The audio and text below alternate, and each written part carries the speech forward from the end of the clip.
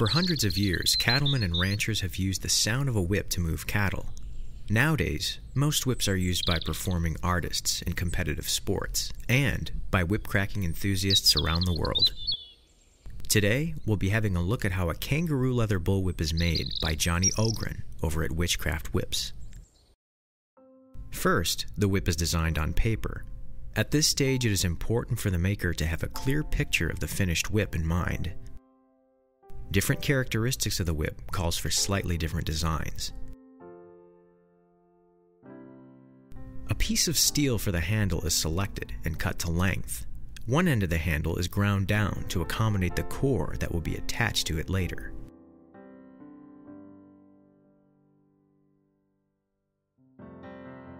Once the handle foundation is prepared, the leather for the whip is selected. As kangaroos live their lives in the wild, scars and other blemishes are common. All hides used to build your whip are hand picked first grade leather that's been inspected several times, but only the best of the very best are chosen for the overlay. A core consisting of two triangular shaped pieces of leather are cut, attached to the handle, and conditioned. The hide for the bellies are trimmed and rounded off. The strands for the first belly are cut stretched, resized, and beveled before they are attached to the handle.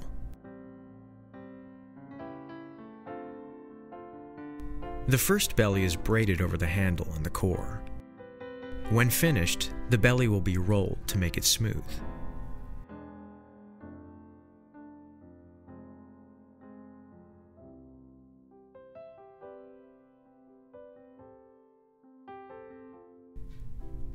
After the rolling, the strands from the belly will be cut and tapered to serve as the core for the next layer of braiding, and to provide the correct shape of the finished whip. Artificial sinew is wrapped around the end of the handle and onto the end of the thong.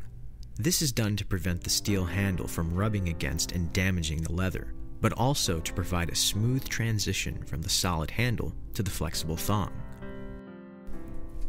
After that, the binding at the transition area is rolled.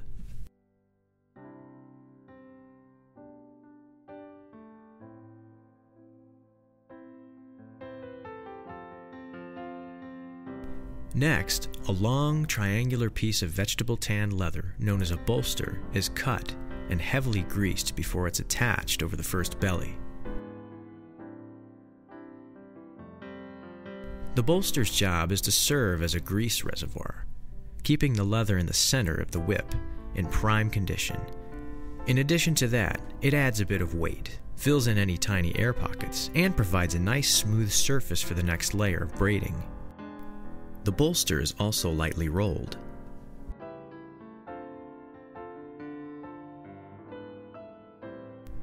Strands for the second belly are then prepared.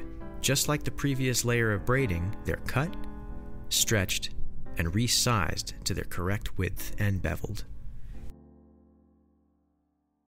The second belly is then braided in a similar fashion as the first, but this time extending a bit further down the thong. It is then rolled before receiving another light binding at the transition area. After the transition has been rolled, a second bolster is cut to fit the increasing diameter of the whip. Just like the previous one, the bolster is heavily greased, attached over the belly, and rolled again.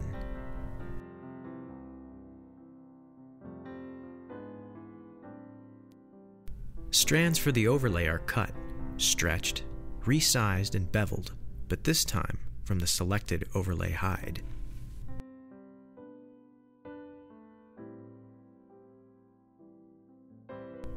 Patterns can be incorporated into the braid, a technique referred to as fancy plaiting. These patterns are worked out on paper and can range from very advanced and complex decorations to subtle and elegant changes in the braid.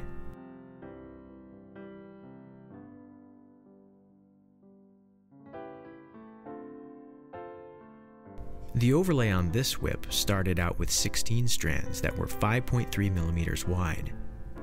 Along the thong, the strands have been tapered and some dropped into the braid to accommodate the decreasing diameter. At the end of the thong, we're left with 8 strands at 3 millimeters. Being a 6 foot whip, the overlay is braided to the 6 foot mark, where the fall is hitched on. Once the strand ends have been trimmed, the full sized whip receives a final rolling.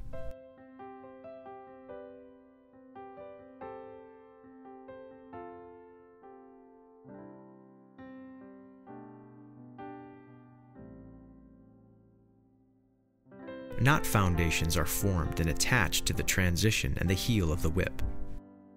Depending on the style, weight, and action of the whip, a couple of strips of lead might be incorporated into the heel knot to balance the whip, making it more comfortable for the user. These foundations are then covered with Turk's head knots. The heel knot serves as the grip when the whip is being cracked, so it needs to be comfortable and smooth. The transition knot, however, is purely a decorative element without practical purposes. The whip is strung up and receives a coat of shellac. The shellac will provide a nice sheen to the finished whip.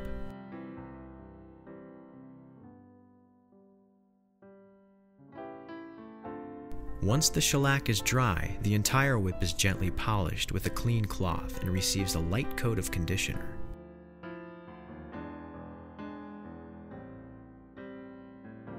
After that, a cracker is attached to the end of the fall, and the whip is left overnight to rest in a coil.